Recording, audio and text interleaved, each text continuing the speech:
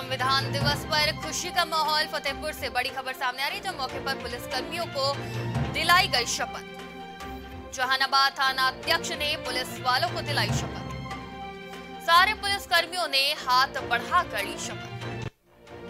संविधान दिवस पर खुशी का माहौल, मौके पर पुलिस कर्मियों को दिलाई गई शपथ। जहानाबाद थाना अध्यक्ष ने पुलिस वालों को दिलाई शपथ। सारे पुलिसकर्मियों ने हाथ बढ़ाकर ली शपथ। संविधान दिवस पर खुशी का माहौल फतेहपुर से बड़ी खबर सामने आ रही है, जहाँ मौके पर पुलिसकर्मियों को दिलाई गई शपथ। जहानाबाद थाना अध्यक्ष ने पुलिस वालों को दिलाई शपथ। बीजेपी की संविधान गौरव दिवस यात्रा, लखनऊ से बड़ी खबर, एक हज़ार गाड़ियों का काफिला, प्रयागराज, रवाना। पीजीआई से प्रयागराज रवाना हुई संविधान यात्रा। केंद्रीय राज्य मंत्री कौशल किशोर कर रहे नेतृत्व। बीजेपी की संविधान गौरव दिवस यात्रा। एक हज़ार गाड़ियों का काफिला, प्रयागराज रवाना। लखनऊ से बड़ी खबर सामने आ रही है, पीजीआई से प्रयागराज रवाना हुई संविधान यात्रा। केंद्रीय राज्य मंत्री कौशल किशोर कर रहे नेतृत्व।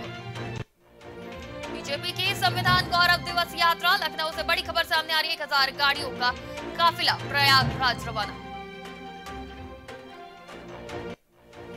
संविधान दिवस पर प्रतिमा पर हमला, जौनपुर से बड़ी खबर, डॉक्टर अंबेडकर की प्रतिमा पर हमला। अराजक तत्वों ने किया क्षतिग्रस्त, जौनपुर से ये खबर सामने आ रही है, जो ग्रामीणों में भारी आक्रोश देखने को मिला। आरोपियों की गिरफ्तारी की मांग की जा रही है। सराय ख्वाजा थाना की घटना। संविधान दिवस पर प्रतिमा पर हमला, जौनपुर से ये बड़ी खबर सामने आ रही है, डॉक्टर अंबेडकर की प्रतिमा पर हमला। अराजक तत्वों ने किया क्षतिग्रस्त, ग्रामीणों में भारी आक्रोश। आरोपियों की गिरफ्तारी की मांग की जा रही।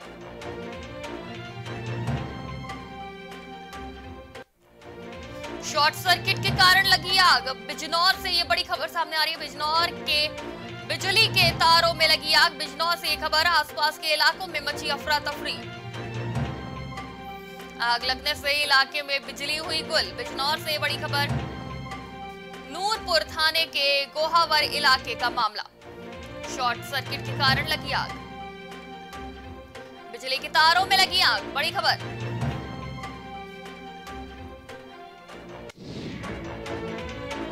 लखनऊ से इस वक्त की बड़ी खबर सामने आ रही है। एआईएमआईएम ने सपा से गठबंधन का भेजा प्रस्ताव। मीडिया के माध्यम से भेजा प्रस्ताव। प्रस्ताव पर बोले, सपा नेता उदयवीर सिंह। गठबंधन करने के लिए मुलाकात करनी होगी।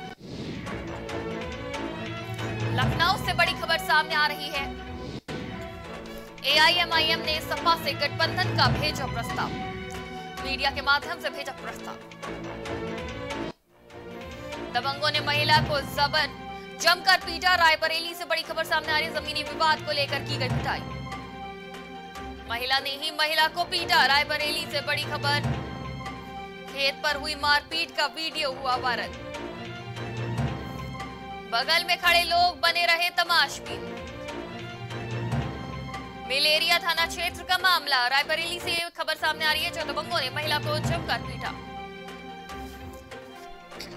जमीनी विवाद को लेकर की पिटाई, रायबरेली से बड़ी खबर, महिला ने ही महिला को पीटा। हर्षवारी का वीडियो वायरल, फतेहपुर से बड़ी खबर। सोशल मीडिया पर वीडियो हो रहा वायरल। लाइसेंसी रिवॉल्वर से ठोके छह फायर। शादी समारोह का वीडियो सामने आया। फतेहपुर से ये बड़ी खबर सामने आ रही है, जो वीडियो वायरल होते ही मचा हड़कंप। पुलिस पूरे मामले की जाँच पड़ताल में जुटी। फतेहपुर से बड़ी खबर सामने आ रही है जो हर्ष फायरिंग का वीडियो सामने आया है। तस्वीरें देख सकते हैं आप सोशल मीडिया पर, इसका वीडियो वायरल हुआ है। फतेहपुर से ये खबर सामने आ रही है। लाइसेंसी, रिवॉल्वर से छह राउंड फायर किए गए। शादी समारोह का ये वीडियो है। वीडियो वायरल होते ही मचा हड़कंप। पुलिस पूरे मामले की जाँच पड़ताल में जुटी। अराजक तत्वों ने पुल की दीवार तोड़ी। बड़ी खबर सामने आ रही है 150 साल पुराने पुल की तोड़ी दीवार उन्नाव से बड़ी खबर। जर्जर होने के चलते बंद किया था पुल। दीवार टूटते ही लोगों का आवागमन शुरू हुआ। गंगा घाट के पुराने पुल का मामला। अराजक तत्वों ने पुल की दीवार तोड़ी। 150 साल पुराने पुल की तोड़ी दीवार।